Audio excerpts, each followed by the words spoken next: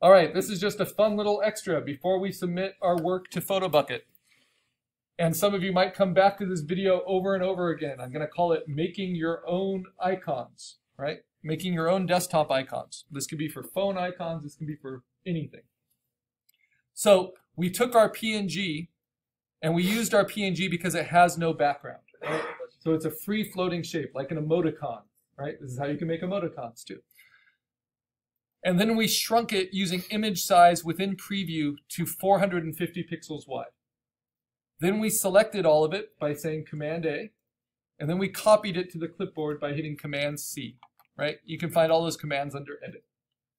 Now we're going to close it. Now remember, preview automatically saves. So that's why we saved it as a copy. Now just notice, if you will, that these two look identical except they are not. If I go to get info, this one is 15.7 megabytes because it's a much bigger image. This is made to be print quality. You know, not bigger than 8 by 10 inches at 350 pixels per inch. Whereas this one, the copy that I just resized, it looks very, very similar, right? But it's only 295 kilobytes. So why did we copy it first? Well, because we can make a new folder. And this is going to be your master class folder. And I would like you all to label your master class folders with this format so they're easy to find if they get misplaced. Capital S, capital P, 1, 9, space. The name that you are called in the class. Then your last name as registered. And then capital D, capital I, capital, capital G, right? So it stands for Spring 2019, Your Name, Digital Art. So that is our master folder, but that folder icon so boring. So we're going to replace it with your, your PNG cartoon jumble. To do that, we go back to that Get Info screen, but to our empty folder, which is zero items, zero bytes. And to replace the icon, you click on it in the upper left-hand corner of the Get Info screen, and you'll see that it will highlight blue. That allows you to then paste on a new icon, which is Command V or Edit Paste. And so now I've replaced it with my cartoon jumble. So that's my master folder. Now, what if I wanted it to be bigger? Right? How could I do that? To make it as a bigger icon, I have to double click on my original PNG, and I actually should open it up in Photoshop and crop to it as closely as I can without cutting any of it off. And this is how you can do that. If you use your move tool and you click on your ruler, if you don't have rulers, hit Command R.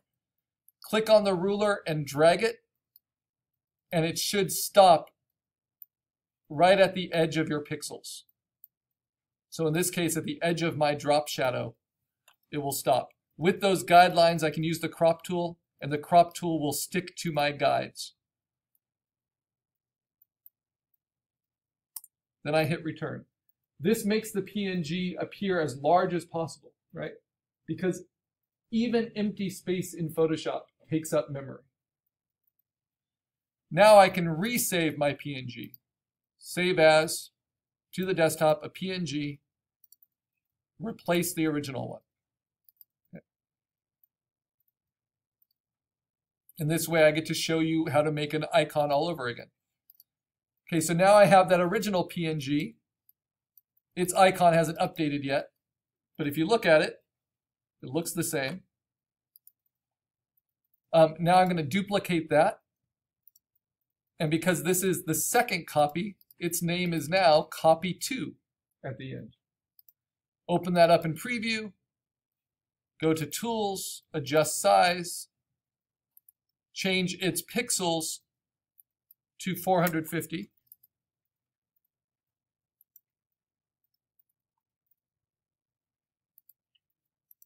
I'm expecting it to kind of collapse down and look more like that.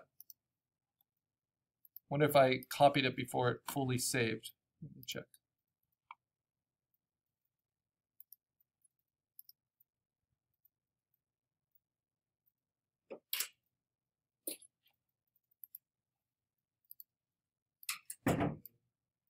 Yeah, I did. Okay. So the problem with PNGs is that they uh, sometimes take longer to save. That's one of their main ways, especially in Photoshop for some reason. One of their main ways of compressing without um, losing too much image quality is taking longer to save.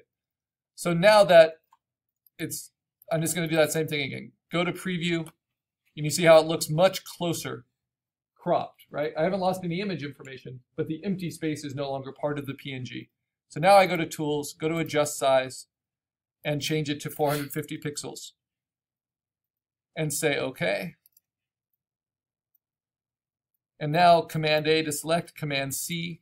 But now it will be a bigger icon at 450 pixels because empty space is not part of that 450 pixels. Then I can close it. It will automatically save. And then I can go back to my folder, click on the icon under the Get Info screen, and paste it in. And you see, that's going to be as big as I can make the icon. And it will take a little bit for that to reflect because I just had changed it already.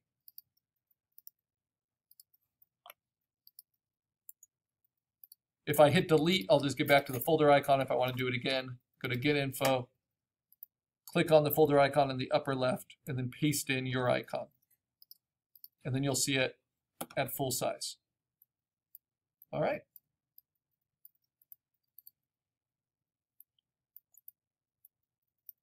So I'm going to relabel this my icon, uh, I don't know, avatar, whatever.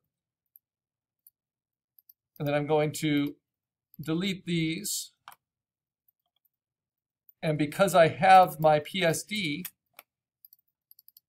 I can always output a new PNG for the class, right?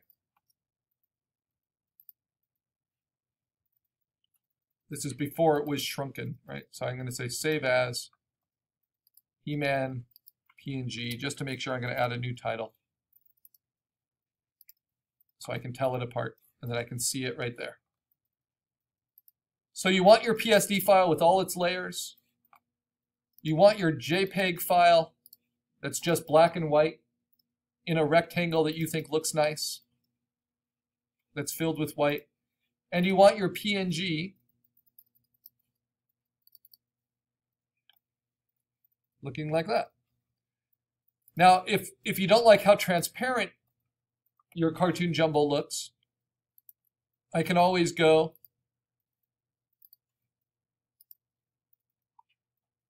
and add a new type of uh, layer style to it.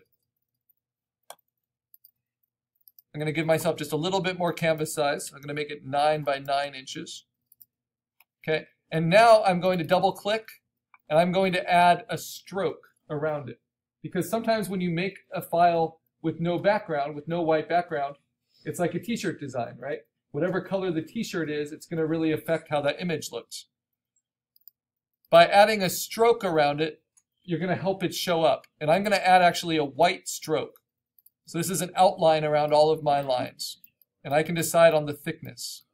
But that's going to really help it show up on blue. If I fill up a new layer just to show you with gray, and then put it behind, it will show up that way. Right. So that's one way to help it show up as an icon a little bit better. And it can also show you little uh, stray pixels you might have in your image. Because even though if they're one pixel, it's going to put a stroke around them. Whoops. All right, so now, same thing. Going to save it. It's my PNG free floating, no background turned on. And then last time, this is all about making uh, desktop icons. Just repeating the same steps over and over. I can then take that. Now it has a white stroke around it, right? I can shrink it, adjust size to 450 pixels. I can select it all, copy it, go to my folder, go to Get Info, first delete the old one and then paste in the new one. And now it's got that white around it. It feels a little bit more like this, this massive energy blast. But either way, it will be very identifiable to whatever you need.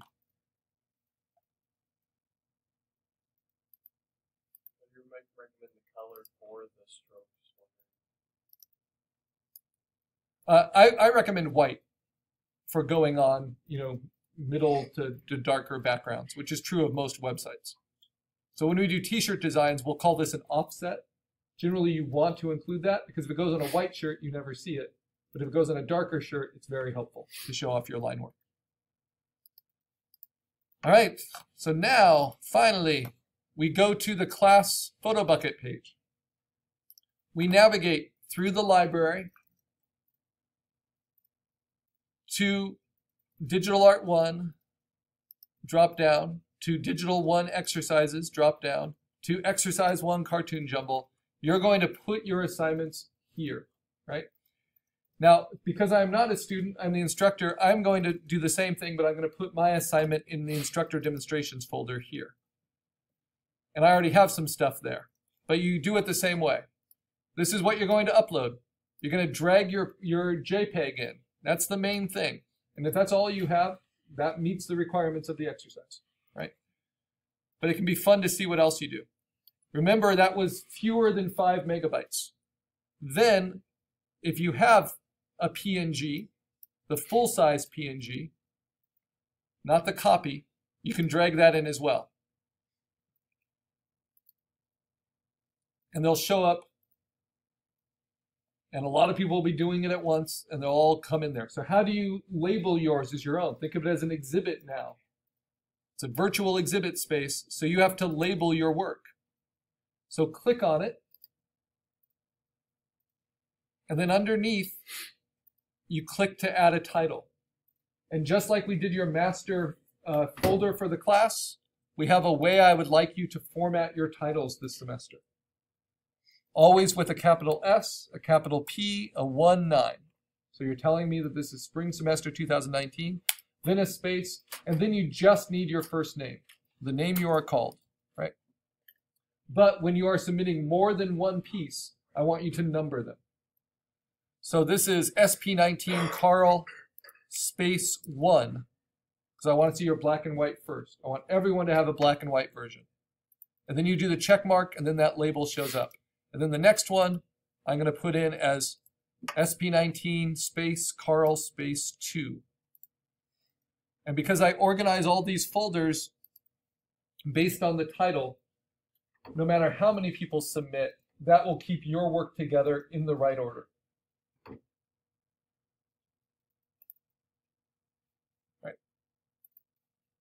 And so as they start coming in, when you title them, it will bring them together. By making your black and white labeled number one and your colored PNG as number two, that will put the black and white in front of your PNG. And you see this, this slightly creamish color you see behind these? That means that they're transparent, that you did that right. But the JPEGs will be solid white behind. All right. So this will be submitting our first assignment. I'm going to come around and help you with that, and then we'll critique them uh, once we have them in.